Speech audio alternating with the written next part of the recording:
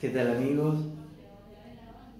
Un, saludo en el marco de, Día Internacional de los Trabajadores, a todas las trabajadoras y trabajadores que con sus manos, con su pienso, con su capacidades este, transforman las realidades.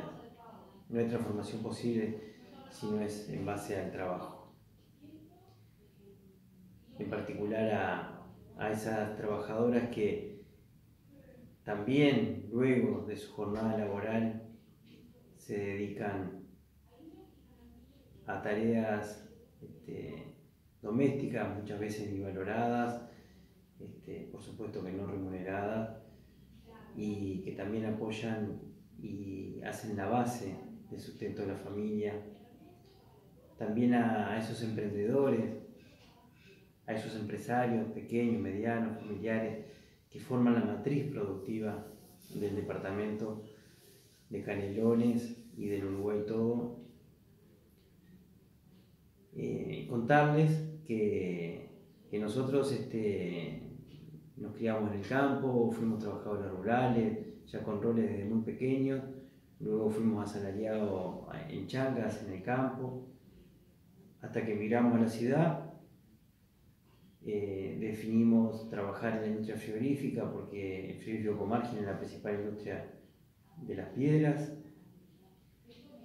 Y así fuimos en el frigorífico, en la industria, este, nuestro primer trabajo en Granilla hasta que cerró margen, bueno, ahí nuestras experiencias sociales, sindicales, en donde junto con el primer intersindical de trabajadores hicimos los primeros, primeros de mayo y, movilizaciones con reivindicaciones bien fuertes, como por ejemplo tener un hospital en las piedras, este, un segundo liceo, cosas que ahora parecen normal, este, eh, nos costó mucho lograrlas.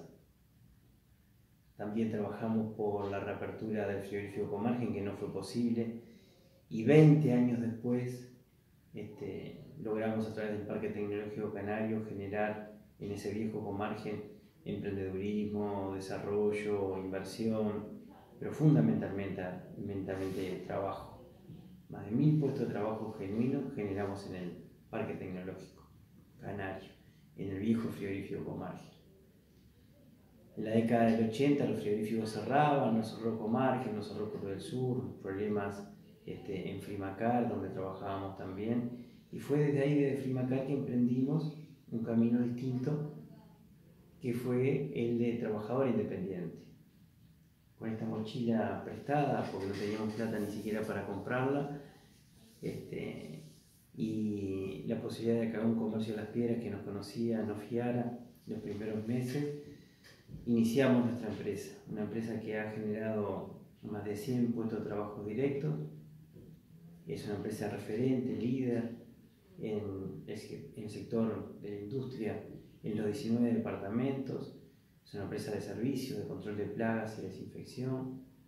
También este, desarrollamos la chacra, un emprendimiento productivo bien interesante, innovador, con con quesos de cabra, de oveja, que también generó mucho trabajo y desarrollo. Y luego, como actividad social, al dedicarnos en el Club Juventud, encontramos la posibilidad de el desarrollo social de la institución con fuerte arraigo en la ciudad de Las Piedras, en el departamento Canelones, generando trabajo directo.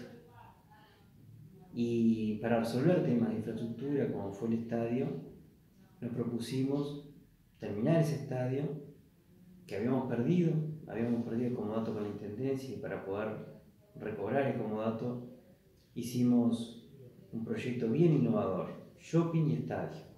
También generamos a través del shopping, que es un antes y un después en la ciudad de Las Piedras, no solamente cultura, inversión, generación directa de empleo, que era lo más importante, más de mil puestos de trabajo genuinos hoy tenemos en la ciudad de Las Piedras, fruto de, esa, de ese proyecto, de esa iniciativa privada que llevamos adelante desde el Club Juventud, Shopping y Estadio.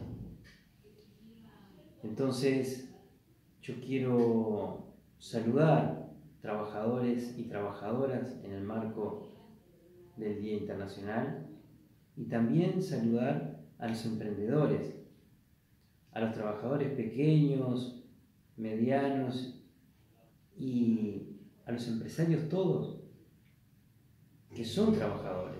Son empresarios, pero son trabajadores porque ellos todos los días se dedican este, con, con audacia, con riesgos y con mucho trabajo a construir esta matriz productiva que hace el trabajo nacional, que es una verdadera cultura nacional. Así que trabajadores y empresarios que juntos con el trabajo transforman la realidad de nuestro país, siendo los sectores más pujantes, siendo los sectores más progresistas del quehacer nacional.